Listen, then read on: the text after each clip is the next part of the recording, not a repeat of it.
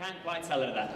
Moving on to lot 156 is a 1931 Duesenberg Model J Tourster. The Tourster was Gordon Buehrig's favourite Duesenberg, and this fine example is the best known of the eight original Derham Toursters. Offered from the estate of John O'Quinn, this commanding Tourster has a roster of well-known former custodians, including the comedian Joe E. Brown and Howard Hughes Aircraft Company, which amazingly used it to launch uh, gliders in period.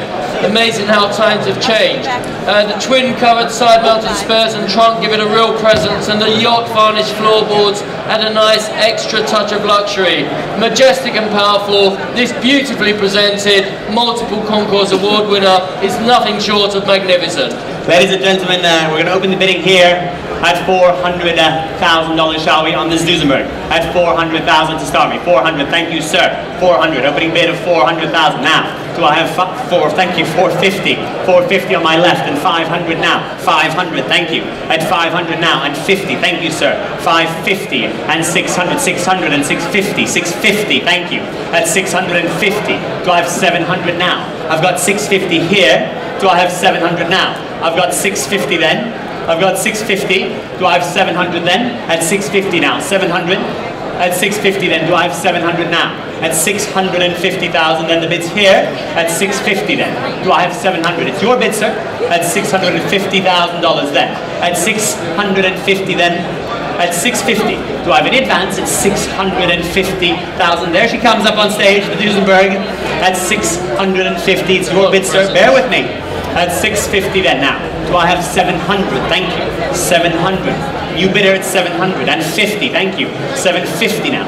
Do I have 800 then? I've got 750 now. Back in with me. Do I have 800 from you now?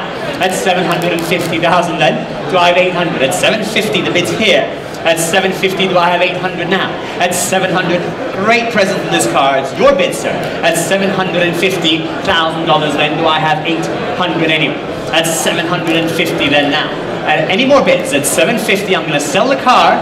If there's no more bids, ladies and gentlemen, at just $750,000 then. What a great buy, what a great car, ladies and gentlemen. At 750, I'm selling here to my left. It's going, you're out here and you're out on my right. At 750, I'll take 25 if you like, but it's selling all the way. At $750,000 then, I'm selling it here, it's going for the first time.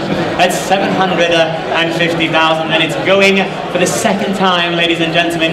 Are you sure you're all done? I'll take 25 more anyway. At 750,000 then, for the last time. If you're all done at just $750,000, I can't quite believe it. What a buy. At 750 sold your car. Well done. 5005.